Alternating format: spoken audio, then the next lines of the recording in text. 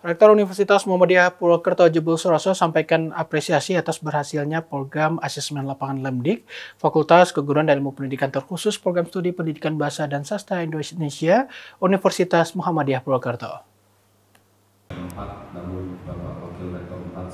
Fakultas Keguruan dan Ilmu Pendidikan Universitas Muhammadiyah Purwokerto terkhusus Program Studi Bahasa dan Sastra Indonesia telah berhasil dilakukan asesmen lapangan oleh Lamdik atau Lembaga Akreditasi Mandiri Kependidikan.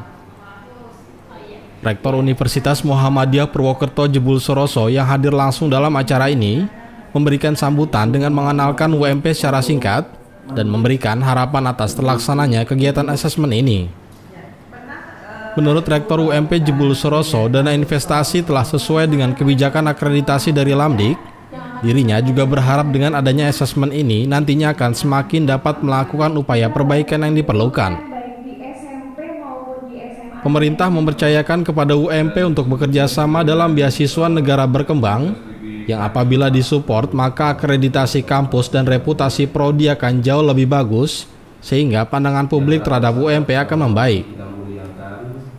Tegaroli memberitakan dari Purwokerto, Jawa Tengah. Kepala Biro SDM